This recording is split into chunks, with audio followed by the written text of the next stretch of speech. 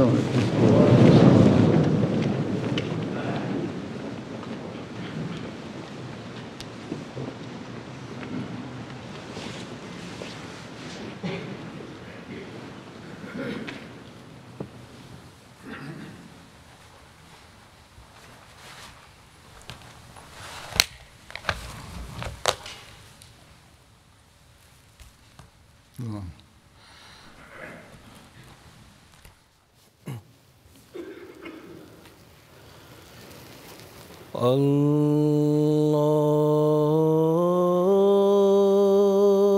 الله أكبر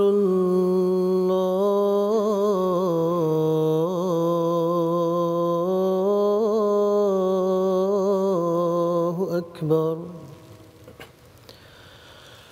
الله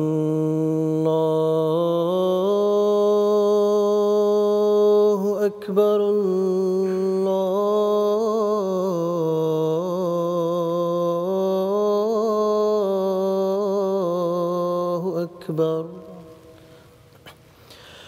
أشهد أن لا إله إلا الله. أشهد أن لا إله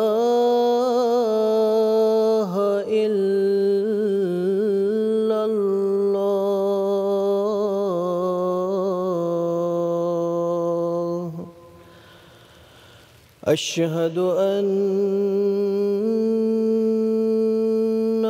محمد رسول الله.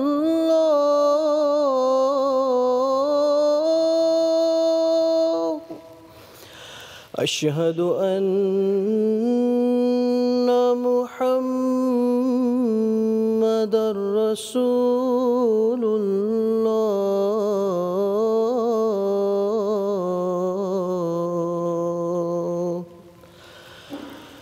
حي على الصلاة.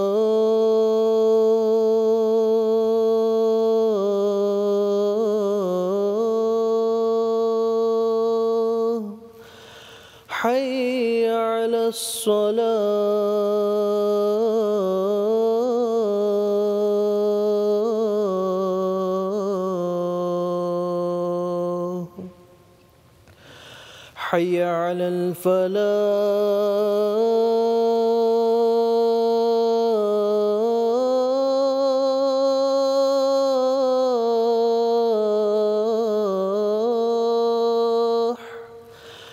حي على الفلاح.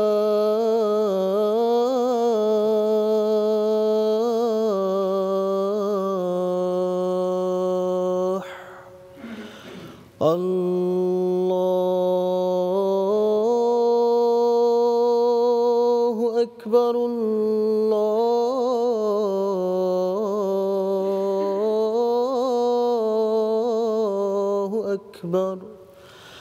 لا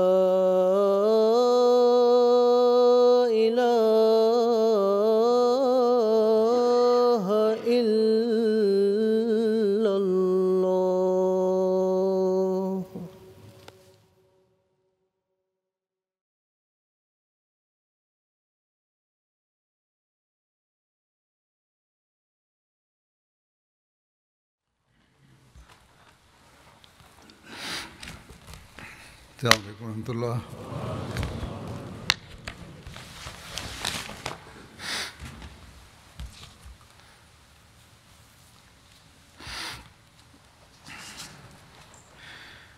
أشهد أن لا إله إلا الله وحده لا شريك له. وأشهد أن محمدا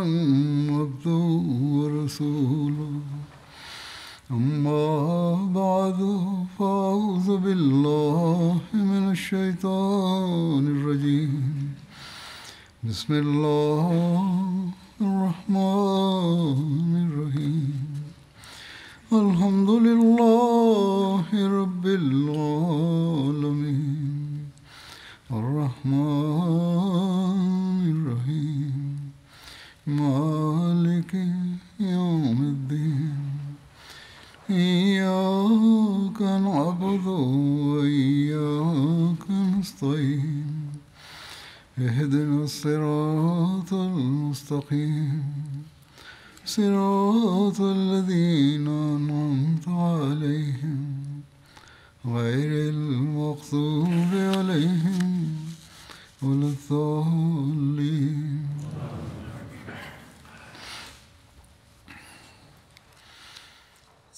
سأذكر اليوم غزوة بني المستلق التي تسمى بغزوة المريسيع أيضا. متى وقعت هذه الغزوة؟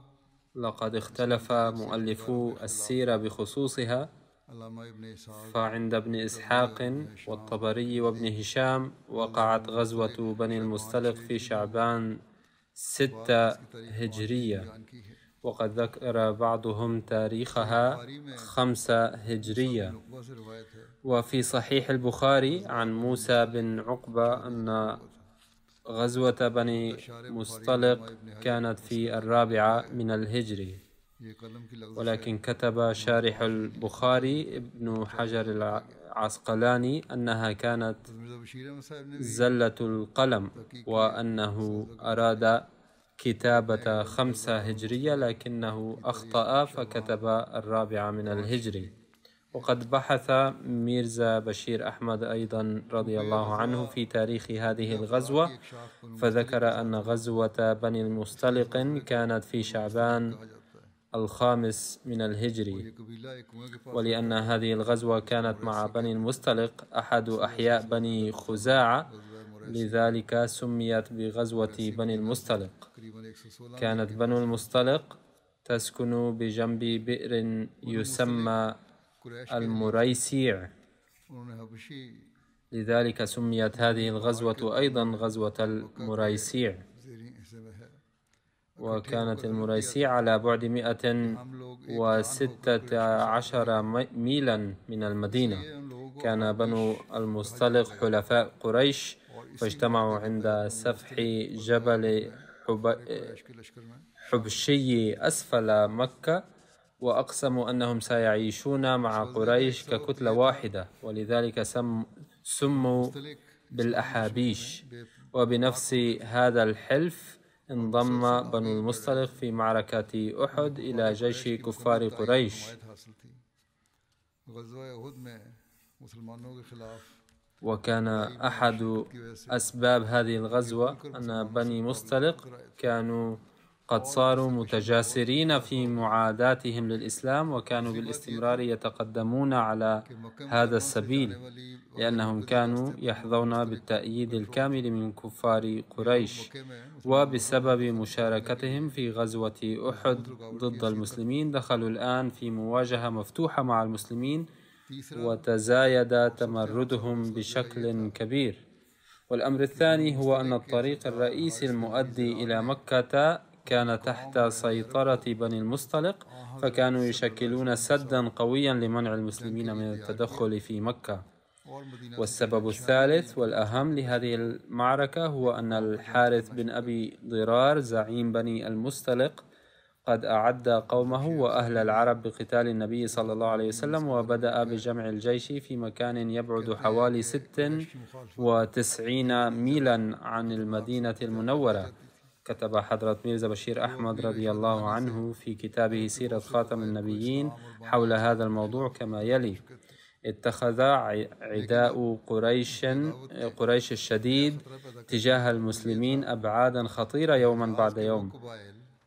فدعايتهم المسمومة ضد الإسلام جعلت العديد من القبائل العربية تقف ضد المسلمين وقد أحدث عداؤهم خطرا جديدا آخر وهو أن بعض القبائل ذات العلاقات الجيدة مع المسلمين أيضا اعتمدت موقفا عدائيا تجاههم تحت تأثير فتنة قريش.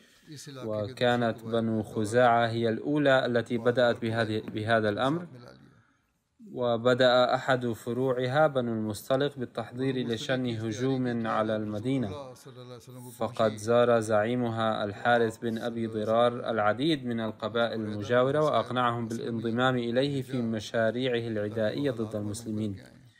ولما بلغ رسول الله, رسول الله صلى الله عليه وسلم خبر استعداد بني المصطلق أرسل بريدة بن الحصيب الأسلمي لاستطلاع الأمر. فانطلق ولحق بهم عند مائهم وهناك رأى بريد قوما مخادعين الذين لم يجتمعوا لم يجتمعوا أنفسهم فحسب بل جمعوا جيشا أيضا من الناس المحيطين. فسألوه من أنت؟ فقال بريدة أنا شخص منكم وأتيت إلى هنا بعد أن سمعت عن خروجكم. وهكذا بعد تقييم الاستعدادات الحربية لهؤلاء الأشخاص بعناية جاء بريدة إلى النبي صلى الله عليه وسلم وأبلغه بأحوال هؤلاء الناس فدعا النبي صلى الله عليه وسلم المسلمين. وأخبرهم عن استعداد العدو وسرعان ما استدعى الجيش الإسلامي وانطلق. لقد ورد عن تفصيل خروج النبي صلى الله عليه وسلم إلى بني المصطلق كما يلي. بحسب إحدى الروايات عين النبي صلى الله عليه وسلم قبل خروجه في غزوة بني المصطلق زيد بن الحارث نائبا له في المدينة.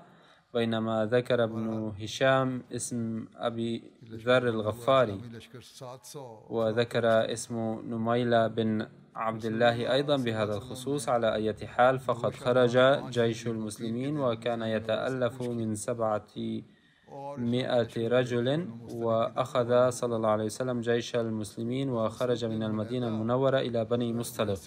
يوم الاثنين الثاني من شعبان الخام السنة الخامسة الهجرية وكان مسعود بن هنيد هنيدة دليلا له صلى الله عليه وسلم في غزوة المريسيع. كان لدى المسلمين في هذه الغزوة ثلاثون خيلا. كان للمهاجرين منها عشرة خيول وكان للنبي صلى الله عليه وسلم فرسان لزاز وضرب.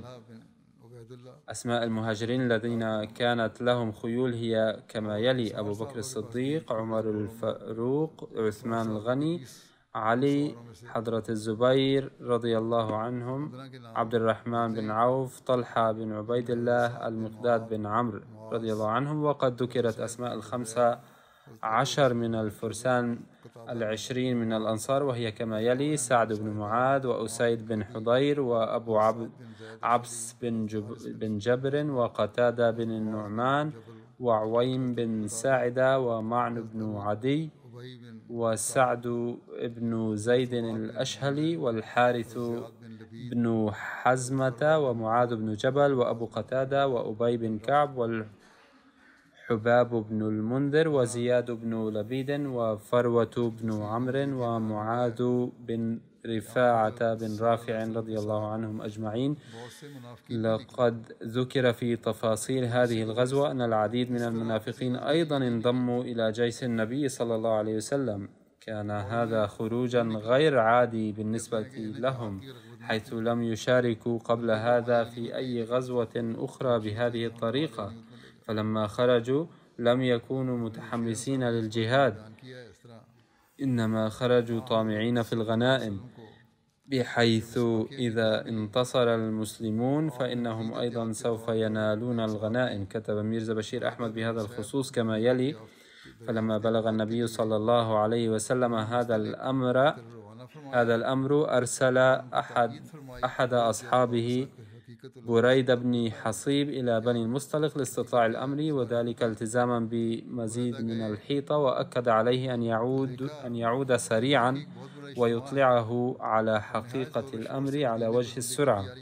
فلما ذهب بريدة إلى هناك رأى حقيقة اجتماعا كبيرا إذ يستعدون بالفعل على نطاق واسع لغزو المدينة المنورة. فعاد وأطلع عليه النبي صلى الله عليه وسلم فحرض النبي صلى الله عليه وسلم المسلمين على الخروج إلى بني المصطلق كحملة وقائية. فقبل أن يشنوا الهجوم أمر الصحابة أن يبادروا بالسير إليهم. فاستعد كثير من الصحابة للسير معه بل قد سار المنافقون أيضا بعدد لم يخرجوا مثله من قبل فأمر النبي صلى الله عليه وسلم على المدينة أبا ذر الغفاري أو بحسب بعض الروايات زيد بن الحارثة فخرج من المدينة بسم الله في شعبان من العام الخامس من الهجرة وكان في الجيش ثلاثون حصانا يركبها المسلمون بالتناوب. وكان عدد الجمال أكثر بقليل. يتابع سيدنا ميرزا بشير أحمد رضي الله عنه ويقول في الطريق وجد المسلمون جاسوسا من الكفار فأمسكوا به وأحضروه إلى النبي صلى الله عليه وسلم فأراد أن يسأله عن أحوال الكفار بعد التأكد أنه فعلا جاسوس. فرفض ولما كان موقفه مشبوها لذا قد قتله سيدنا عمر رضي الله عنه بحسب قانون الحرب السائد في ذلك العصر. ثم تقدم, تقدم الجيش الإسلامي وحين علم بنو مصطلق بوصول المسلمين وبلغهم أن جاسوسهم قد قتل فزعوا كثيرا. إذ كانت غايتهم المتوخاة أن تسنح لهم الفرصة للهجوم المباغت على المدينة. لكنه بسبب تيقظ النبي صلى الله عليه وسلم واجهوا عكس ما كانوا يتمنون. فارتعبوا كثيرا والقبائل الأخرى التي كانت قد اجتمعت معهم لدعمهم ذعروا بتصرف إلهي وتخلوا عنهم وهربوا فورا إلى بيوتهم. أما بنو مستلق فكانت قريش قد جعلتهم سكارى بعداوة المسلمين فلم يمتنع يمتنعوا عن الحرب. وأصروا على قتال جيش المسلمين. الجيش الإسلامي بعد بعدتهم وعتادهم. فلما وصل رسول الله صلى الله عليه وسلم إلى مريسيع نصبت له خيمة من الجلد وكانت السيدة عائشة الصديقة رضي الله عنها معه.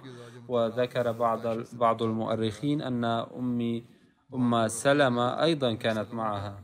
لكن ابن حجر اعتبر تلك الروايات ضعيفة فقال وقد ورد في البخاري قول السيدة عائشة رضي الله عنها فخرج سهمي.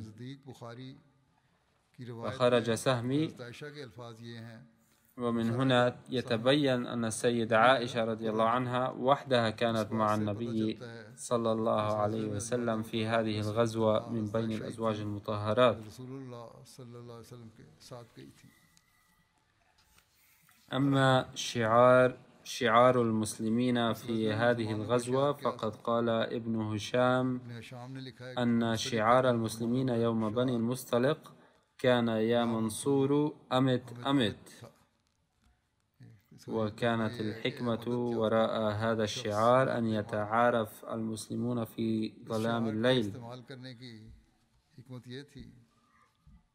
لقد صف النبي صلى الله عليه وسلم الصحابة ودفع راية المهاجرين إلى إلى أبي بكر رضي الله رضي الله عنه ويقال إلى عمار بن ياسر رضي الله عنه وراية الأنصار إلى سعد بن عبادة ثم أمر سيدنا عمر أن ينادي في الناس أي أفراد جيش الكفار أن قولوا لا إله إلا الله تمتنعوا من أنفسكم تمنعوا من تمنعوا بها أنفسكم وأموالكم. ففعل وأبوا ثم تراموا بالنبل حيث بادر أحد المشركين بالرمي فرد المسلمون أيضا ثم أمر الرسول صلى الله عليه وسلم المسلمين أن يكثفوا الحملة فحملوا حملة رجل واحد فما أفلت منهم رجل رجل واحد وقتل منهم عشرة وأسر سائرهم من الذكور والإناث والأولاد والبهائم. فقد كتب سيدنا ميرزا بشير أحمد رضي الله عنه تفصيل عن تفصيل ذلك. لما بلغ النبي صلى الله عليه وسلم المريسيع حيث كان بنو مصطلق يقيمون قريبا منه. وكان قريبا من الساحل ويقع بين مكة والمدينة. أم أمر بالنزول وبعد أن يصف المسلمين ويدفع الرايتين أمر سيدنا عمر أن ينادي في بني المصطلق أنهم إذا امتنعوا عن عداوة المسلمين وقبلوا حكم النبي صلى الله عليه وسلم فلهم الأمن والجدير بالملاحظة أنه لم يذكر تبديل الدين وإنما قال لهم إنهم إذا قبلوا حكمه صلى الله عليه وسلم فهم في أمان وأن المسلمين سيعودون لكنهم رفضوا بشدة وأصروا على القتال حتى قد ورد أن أول سهم أطلق في هذه الحرب كان قد أطلقه رجل من بني المستلق. فلما لاحظ النبي صلى الله عليه وسلم موقفهم أمر الصحابة أيضا بالقتال. فتراموا بشدة لمدة قصيرة. ثم أمر النبي صلى الله عليه وسلم الصحابة أن يحملوا حملة مكثفة. دفعة واحدة فتقهقر الكفار لكن المسلمين حاصروهم بذكاء. حتى اضطر القوم كلهم للاستسلام وبعد أن قتل عشرة من الكفار ومسلم واحد انتهى القتال الذي كان يمكن أن يكون خطيرا جدا. الآن أود أن أذكر بعض المرحومين وأحدهم شهيد. لذا أوجزت الخطبة. وقبل ذلك أود أن أحثكم على الدعاء انطلاقا من شهر محرم الذي نعيشه في هذه الأيام. فقد أقيم في هذا الشهر مثال بشع للظلم والبربر والبربرية حيث استشهد حفيد النبي صلى الله عليه وسلم ورجال عائلته. لكن من شقاوة المسلمين أن هذا الظلم ما زال مستمرا بدلا من أن يعتبروا من ذلك حيث تزداد الفتن الطائفية بين السنة والشيعة وأعمال الإرهاب في محرم. وتسقط الضحايا من كلا الطرفين. بل إن هذه الفتن الطائفية ورغبة ورغبة الحصول على مصالح شخصية قد خلقت في العالم الإسلامي أجواء أجواء الفتن والإضطرابات. بل يظهر الظلم والاعتداء من المشايخ وشتى الفئات والحكومات أيضا ضد بعضهم البعض طول العام. ولا يفكرون في أن يتعلموا درسا ويخافوا الله. إن الأمر الذي أقامه الله تعالى وفق وعده للقضاء على هذا الفساد فإنهم يرفضونه. ولا يريدون أن يدخلوا في بيعة المسيح الموعود.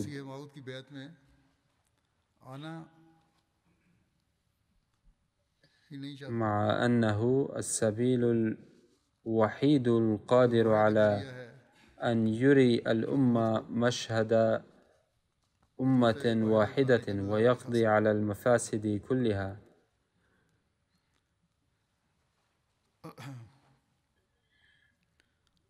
ويسترد للمسلمين مجدهم الغابر بتوحيد صفوفهم. ليتهم ليتهم يدركون أن هذه هي الوسيلة الوحيدة لذلك على كل حال من واجب الأحمديين أن يركزوا على على الصلاة على النبي صلى الله عليه وسلم والدعاء الخاص لتوحيد صفوف المسلمين. عليهم أن يولوا اهتماما خاصا لتحسين حالت حالتهم وتقوية صلتهم بالله تعالى. وفق الله الجميع لذلك. وكما قلت آنفا سوف أقوم بذكر شهيد و بعض, بعض من الذين وافتهم المنية الشهيد اسمه السيد بونجا محمود وهو من جماعتنا في تمنجارو في توغو. قتله الإرهابيون في 21 من يونيو بعد اقتحام بيته. إنا لله وإنا إليه راجعون. كان عمره أربعة أربع وستين عاما. خلف وراءه زوجتين وأربعة عشر ولدا كتب الداعية نويد نعيم يوجد فرع لجماعتنا في تمنجارو التي تقع بالقرب من المدينة المركزية في المنطقة الشمالية بتوغو. وهذه المنطقة تقع على الحدود المتخ... المتاخم... المتاخمة لبوركينا فاسو. لقد وفق الله الشهيد بونجا محمود لأن يكون من رو... رواد الأحمديين. في هذا الفرع للجماعة كان يعيش على الزراعة. لقد بنى في مزرعته بيتا مؤقتا يعيش فيه مع زوجته وأولاده في موسم الأمطار. عند انقطاع الأمطار كان يرجع إلى بيته في القرية التي كانت بعيدة.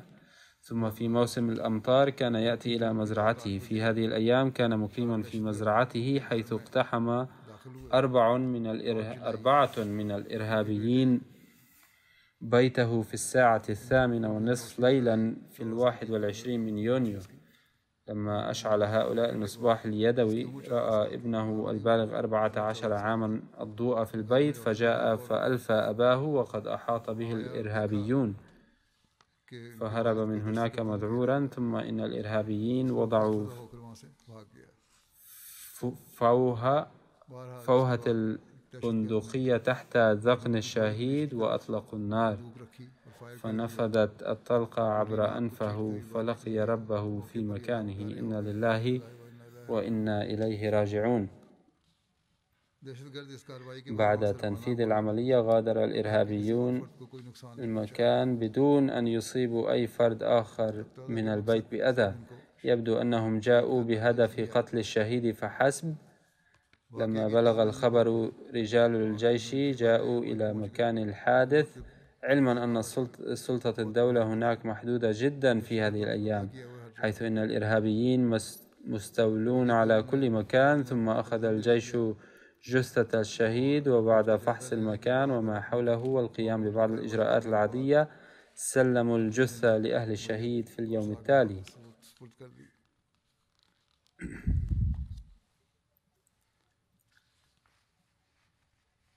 لقد كتب الإمام بيلو المحترم وهو من الدعاة المحليين الأوائل كان الشهيد من الرعيل الأول من المبايعين. بعد البيعة كان يحضر الصلوات ونشاطات الجماعة كلها بانتظام وكان يدفع التبرعات بدون انقطاع. وكان السيد جدامة طاهر الداعية في تلك المنطقة قد بايع الشهيد في عام 2007 وبعدها جاء شهر رمضان فورا وكان موسم الأمطار قد بدأ وكان الناس قد أخذوا في إعداد أرضهم للزرع. فكان أهل قريته يسخرون منه قائلين لقد صرت مسلما فإما أن تصوم الآن أو تعمل في أرضك لأنك لا تقدر على أن تقوم بهذا العمل الشاق وأنت صائم. أما نحن فسوف نبذل جهدنا ويكون زرعنا أكثر ريعا من رکھنے فرد عليهم وقال لقد أسلمت بصدق القلب ولا بد أن أصوم أما الزرع فالله يتولاه. سوف أعمل قدر المستطاع وسوف يعطيني الله تعالى حتما ما كتب لي ومن عجائب القدر أن الأمطار انقطعت في تلك الأيام ولم تنزل في شهر رمضان كله.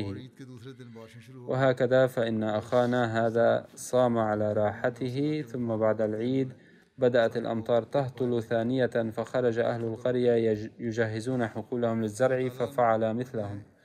وهكذا فإن الله تعالى منع هؤلاء المستهزئين من العمل في حقولهم في رمضان ومكن عبده هذا من عبادته في رمضان. بعد تأسيس فرع الجماعة هناك بأربع سنوات قررت الجماعة بناء مسجد هنالك. فسعى غير الأحمديين كثيرا لمنع الأحمديين من ذلك قائلا قائلين ما الحاجة إلى مسجد آخر؟ عليكم أن تصلوا في مسجدنا. ولكن الشهيد قال لا بد أن نبني مسجدا لنا. ثم بعد بنائه كان يحضر الصلوات الخمس جماعة بانتظام ما دام في القرية. وقال أخوه الأكبر السيد يعقوب كان أخي لين القلب ولم يرد إلا الخير للجميع يرد إلا الخير للجميع.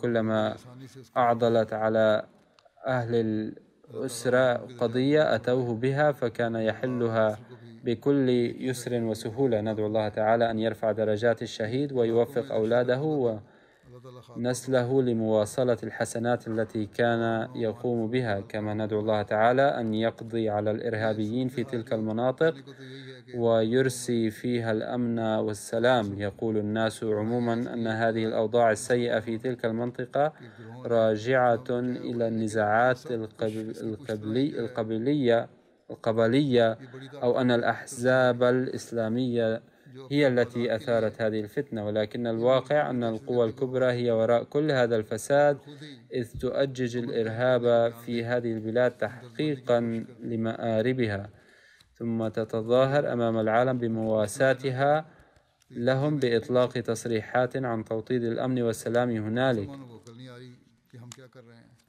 لولا مساندة هذه الدول الكبرى لهذه التنظيمات لم تعش أبدا ولكن المسلمين لا يدرون ماذا يعلم يعلمون. هناك تنظيمات إسلامية كما أن هناك رجال السياسة أيضا الذين قد انضموا إلى هؤلاء الإرهابيين. والذكر التالي هو المرحوم رشيد أحمد معاون ناظر الأمور العامة سابقا واسم أبيه السيد نور حسين توفي مؤخرا عن عمر يناهز السادسة والثمانين عاما. إنا لله وإنا إليه راجعون. ولد المرحوم في قاديان وهو أحمدي بالمولد. دخلت لا.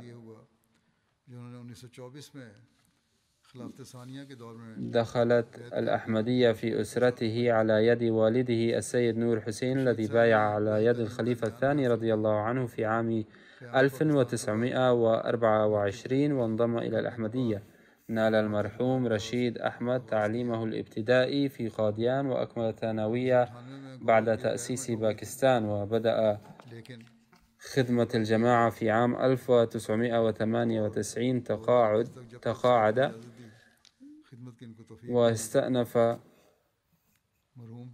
خدمة الجماعة ثانية بعد التقاعد أيضا ووفقه الله تعالى لخدمة الجماعة إلى عام 2021 حيث لم تسمح له صحته عنده عندها بمواصلة العمل.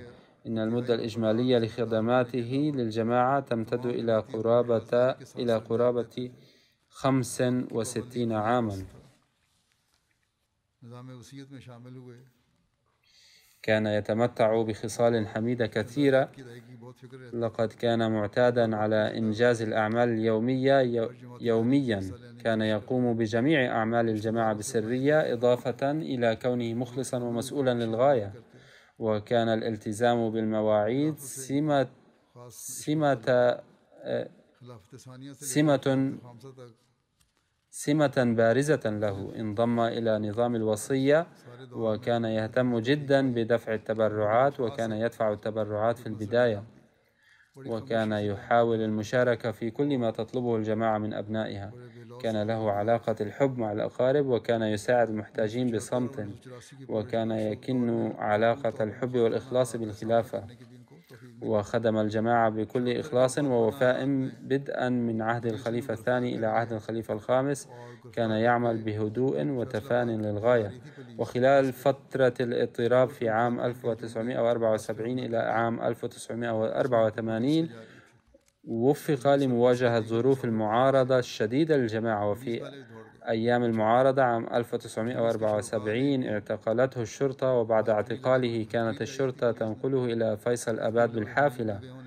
وفي تشانيوت هاجم حشد من المعارضين الحافلة التي كانت تأخذه الشرطة فيها.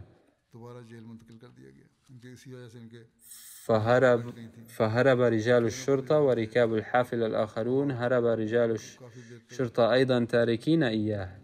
وبما أن الشرطة كانت قد كبلت يديه بالأصفاد فهاجمه المشاركون في الموكب بالسكاكين وأصابوه بجروح خطيرة ويداه مكبلتين. نجا من الموت بشكل إعجازي مكث في المستشفى لعدة أشهر وبعد ذلك تم نقله مرة أخرى إلى السجن ونتيجة هذا الهجوم قطعت أصابعه كما أصيب بجروح في وجهه أيضاً. وكان من الصعب عليه التحدث لفترة طويلة ولكن على أي حال أنقذه الله من الموت. وفي سبتمبر عام 1979 تم تسجيل قضية قضية ضد حضرة خليفة المسيح الثالث رحمه الله وبعض المسؤولين الآخرين في ربوة وكان اسم السيد رشيد أحمد أيضا ضمنهم. واستمرت متابعة القضية لفترة طويلة وفي عام 1987 ورفعت قضية أخرى ضد السيد رشيد وثلاثة مسؤولين آخرين في الجماعة في مركز الشرطة بربوة مما اضطر للذهاب إلى المحاكم لسنوات عديدة. وتقول ابنته أمة الصبور كان يلتزم بصلاة الجماعة ويهتم بحقوق العباد ويحسب يحسب معاناة الآخرين معاناة خاصة به. وحدث في كثير من الأحيان أنه كان يتنازل عن حقه لمجرد إنهاء الخلاف. وقالت ابنته أيضا إنني بعد وفاة والدي والدتي قررت أن أذهب إلى منزل والدي. وأتيت إلى منزله مع أطفالي فأوصاني إذا كنتم تريدون أن تقيموا عندي فعليك أن تفهمي الأولاد أن عليهم الالتزام بأداء صلاة الجماعة وحضور أنشطة الجماعة وعدم الخروج من المنزل بعد المساء وعدم رفض دعوة المسؤولين في الجماعة إذا دعوهم. وتقول إن هذه التربية أفادتني كثيرا. نسأل الله تعالى أن يتغمد الفقيد بمغفرة والرحمة ويرفع درجاته وأن يواصل أولاده وذريته أعماله الصالحة. والذكر التالي هو للسيد شودري مطيع الرحمن نائب ناظر الأمور العامة ابن شودري علي أكبر الذي وافته المنية مؤخرا عن عمر يناهز تسعة وثمانين عاما. إنا لله وإنا إليه راجعون وكان أحمديا بالولادة. جاءت الأحمدية في عائلته عن طريق والده تشودري علي أكبر الذي نال شرف المبايعة في عهد الخليفة الثاني رضي الله عنه في عام في شباط فبراير 1916 بعد تأسيس باكستان خدم الجماعة والده شودري علي أكبر أيضا كنائب ناظر التعليم. تلقى تشودري مطيع الرحمن تعليمه الابتدائي في قديان. وبعد تأسيس باكستان أكمل تعليمه وتوظف في وزارة التعليم. وبعد التقاعد تقدم لخدمة الجماعة ووفق لخدمة الجماعة بصفته نائبا لناظر الأمور العامة لمدة تزيد على خمسة وعشرين عاما حتى آخر لحظة من حياته. لقد كان تشودري مطيع الرحمن شخصا هادئا للغاية ويعمل بجد ويتحلى بصفات حسنة كثيرة. انخرط في نظام الوصية في سن مبكرة كان يس- يسد يسدد التبرع الوصية بانتظام وكان متقيدا بالمواعيد وملتزما بالصلوات بالجماعة وممن يدفعون تبرعات الجماعة في البداية وكان شخصا مثقفا وذا طبيعة بسيطة. يكن علاقة الحب والوداد بالجميع في بعض الأحيان. إذا حدث نزاع بينه وبين زملائه في العمل فكان يمد يده أولا للمصالحة. أي مهمة أي مهمة وكلت إليه أنجزها في أسرع وقت ممكن. كان يكره بشدة أن يؤخر عملا واستمر في هذه الصفة حتى النهاية. لم يدع أي عمل للمكتب يتأخر قط. كان المتوفى مرتبطا بالخلافة وينصح الآخرين أيضا بالارتباط بالخلافة وطاعة نظام الجماعة وكان يقول ذلك دائما لأقاربه ولابنته وأولاده أيضا إنما البركات في طاعة الخلافة. توفيت زوجته منذ بضع سنوات ولديه ابنة واحدة فقط ومات زوجها أيضا. لقد تحمل كل هذه الصدمات بصبر عظيم. نسأل الله له المغفرة والرحمة ورفع درجاته. كان المرحوم عم تشودري إعجاز الرحمن الرئيس السابق لمجلس أنصار الله في المملكة المتحدة. الذكر التالي هو للسيدة منظورة بيغم التي كانت زوجة الراحل محمود أحمد بهتي من سرغودا لقد توفيت في الأيام الأخيرة. إنا لله وإنا إليه راجعون. وكانت زوجة ابن حضرة شودري غلام حسين رضي الله عنه الصحابي المسيح موعود عليه السلام. جاءت الأحمدية في عائلته من خلال عمه الكبير شودري غلام نبي علوي صاحب صاحب وعمه الصغير شودري عطاء محمد علوي كلاهما بايعا بعد الاستماع إلى مناظرة في شيشا وطني وقبل الأحمدية والد المرحوم شودري محمد عبد الله علوي فيما بعد في عام 1935 بعد بحث لمدة ثلاث سنوات كما حصل زوجها الراحل محمود أحمد بهتي وابنها طاهر محمود بهتي على شرف كونهما أسرى في سبيل الله تعالى. كما استشهد أحد إخوة الفقيدة نصير أحمد علوي عام 1991 بسبب الأحمدية في منطقة السند. كانت الفقيدة منخرطة في نظام الوصية وتركت في ذويها ثلاث بنات وسبعة أبناء أحد أبنائه أبنائها السيد عابد محمود بهتي واقف الحياة والداعية يخدم كعميد الجامعة الأحمدية ونائب أمير الجماعة في تنزانيا. وهو لم يتمكن من المشاركة في جنازة والدته بسبب تواجده في ميدان العمل. تقول السيدة أمة القيوم رئيسة لجنة إماء الله سابقا في قريتها. لقد تسنى لي أن أخدم الجماعة كرئيسة لجنة إماء الله لمدة خمسة عشر عاما ولقد رأيت خلال هذه الفترة العديد من صفات المرحومة. كانت ملتزمة بالدين ولا سيما الصوم والصلاة فتصلي خمس صلوات بكل اهتمام فكانت تحضر صلاة الجمعة بانتظام إلى وقت كان مسموحا للنساء حضور المسجد وتجلس في الصف الأول دائما. أما الآن فهناك قيود مفروضة على النساء بحيث لا يمكن لهن أن يحضرن المساجد لا لصلاة الجمعة ولا لصلاة العيد. فهن جالسات في البيوت مضطربات يترقبن متى تتحسن الظروف فيحضرن المساجد. فادعوا لهن أن يرحم الله الناس في باكستان. كانت تحضر كل اجتماع وفي شهر رمضان كانت تصلي صلاة التراويح في المسجد مع النساء الأخريات وقد ربطت أولادها وأولاد أخيها الشهيد مع المسجد, مع المسجد.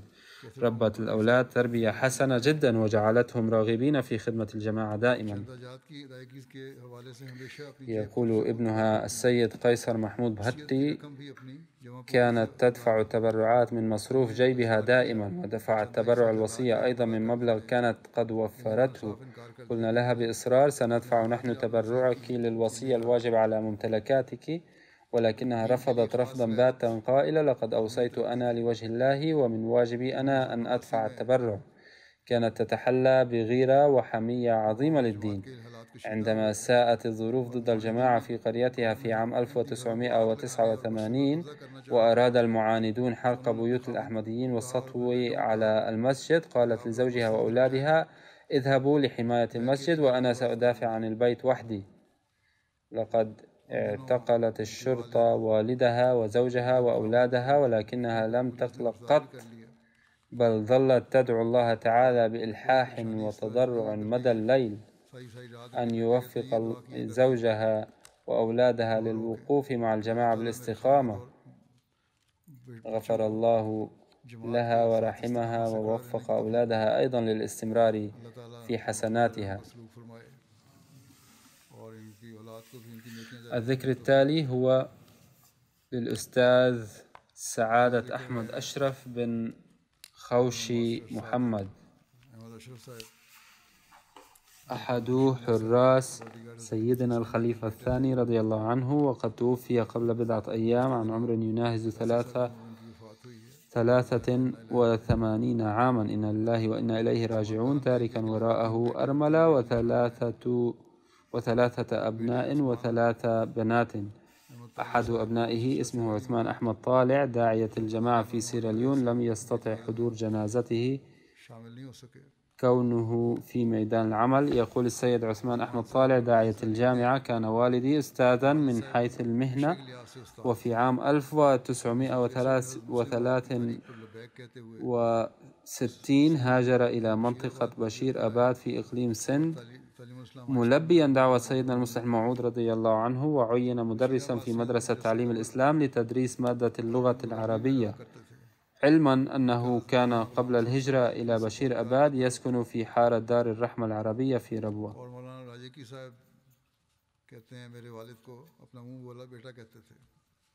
كان له علاقة حب عميق مع المولوي غلام رسول راجيكي رضي الله عنه وكان مولوي غلام رسول يحسبه متبنا.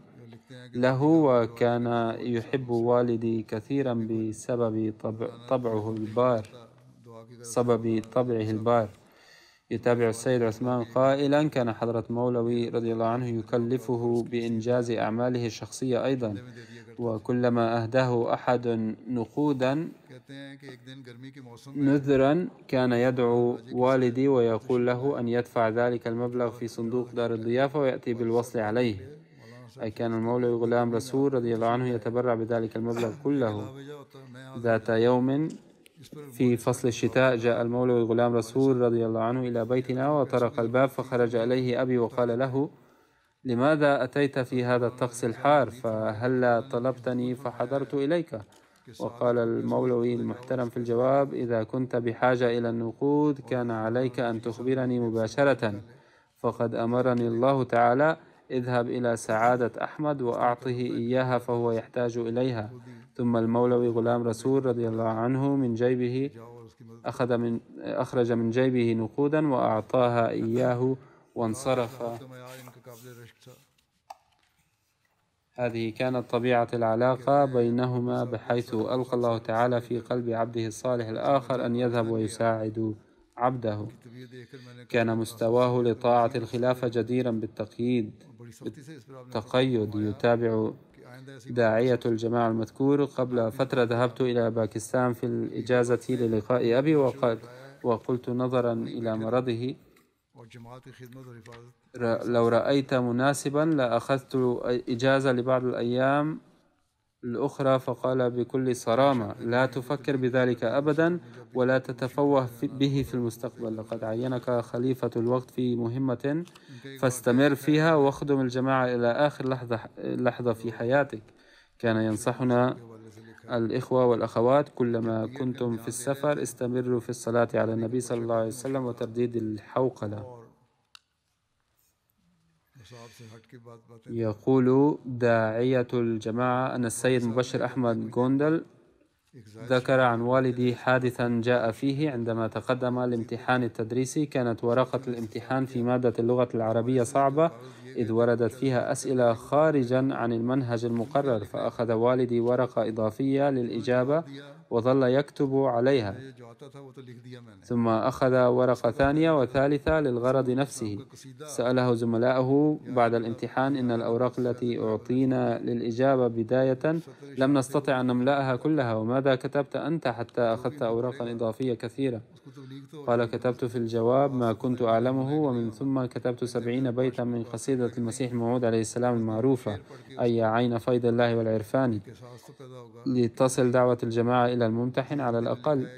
لا أدري هل سأنجح في الامتحان أم لا ولكن فليقرأ هذه الأبيات على الأقل وليشعر أن أحمديا كتب هذه الأبيات ولعله سيعلم صاحب القصيدة صاحب القصيدة أو سيبحث في الموضوع وهكذا سينفتح باب تبليغ الدعوة. فكان من فضل الله تعالى أن ثلاثة فقط من المتقدمين للامتحان نجحوا فيه وكان أبي واحدا منهم وكان يقول بأن هذا حصل بفضل الله البحث وبركة القصيدة. كان كثير الاهتمام بالعبادات النافلة والصيام.